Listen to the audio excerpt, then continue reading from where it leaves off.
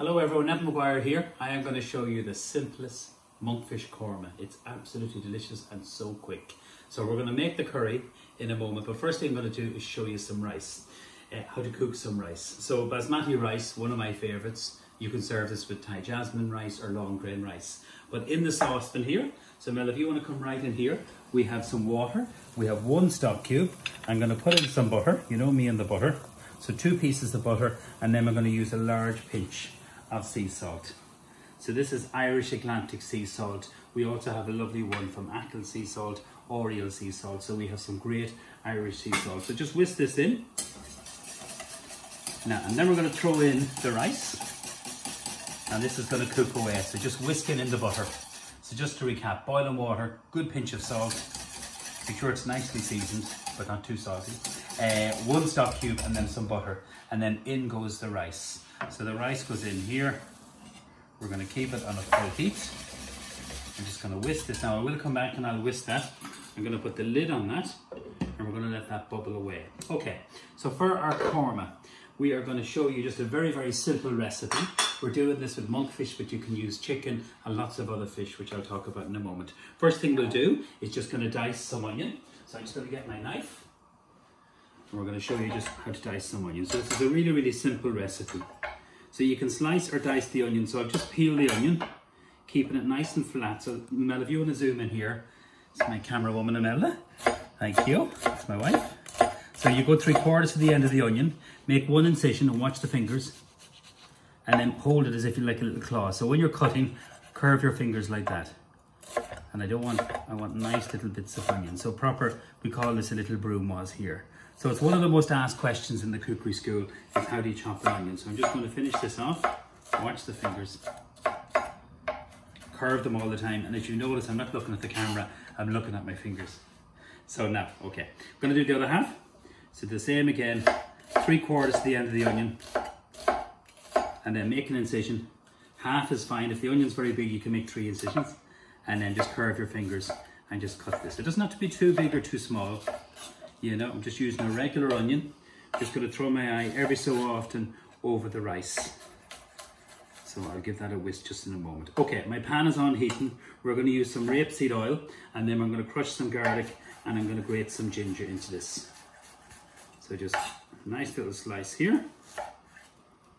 So watch the fingers when you're doing this. Okay, So rapeseed oil goes in. Nice good drizzle. I like rapeseed oil because you get a really nice high smoke point. So just lift off the lid from the rice, give it a whisk. So now if you can zoom in there, what's daisy? So just give that a nice little whisk there. Perfect, okay. So that just stops it from kind of sticking together. Okay, so the pan is on low, even though it looks to be really, really hot and smoking. We're gonna put in our onion.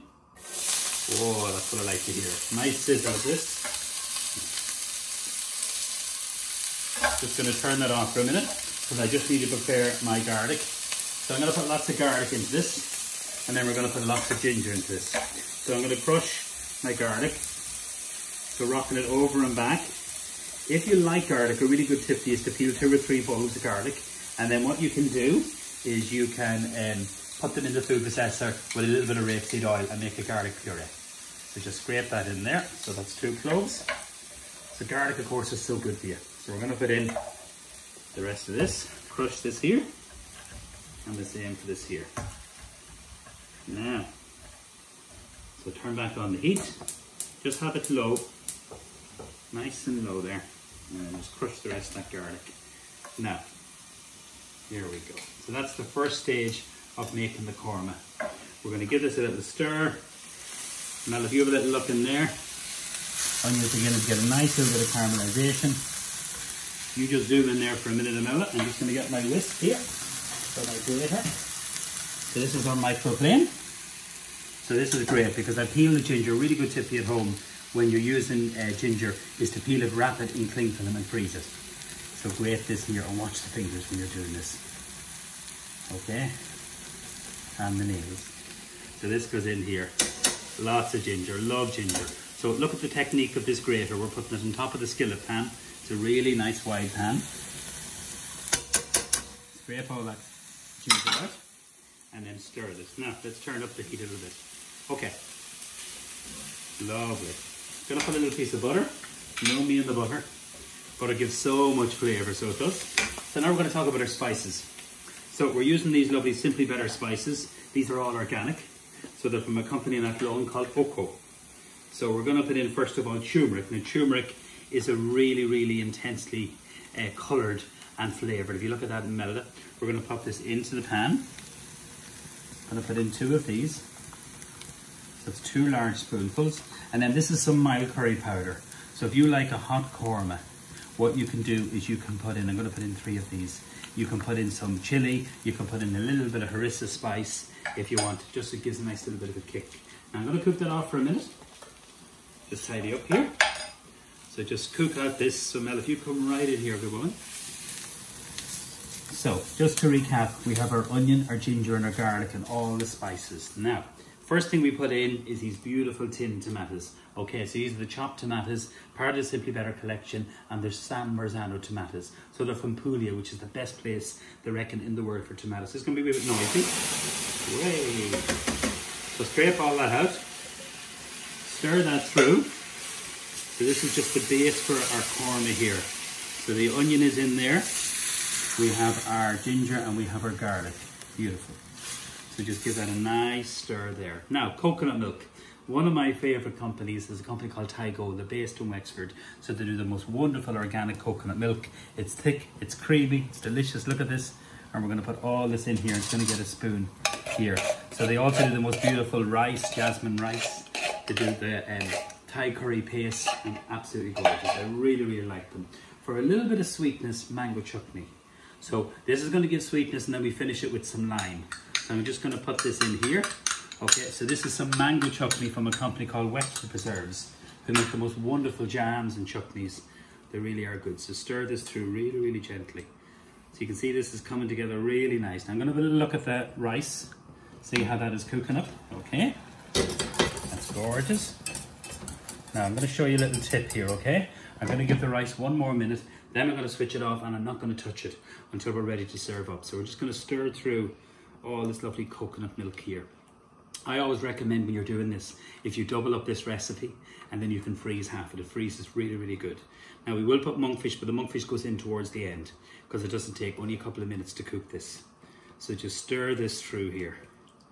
Okay, so Mel, if you just zoom in there, you're getting the lovely colour from the spices, the flavour, the turmeric, you have the garlic in there, you have the ginger in there, you have the mild curry powder, and you have the coconut milk, which is really, really important. Now, there is one ingredient I am going to put in, and I've already cooked this, and I'll tell you why I did this. Normally what I do is I put the sweet potato in at the start. So I've just peeled the sweet potato, this is it here, with a potato peeler, cut into nice big chunks, and I've literally steamed it for about maybe four minutes.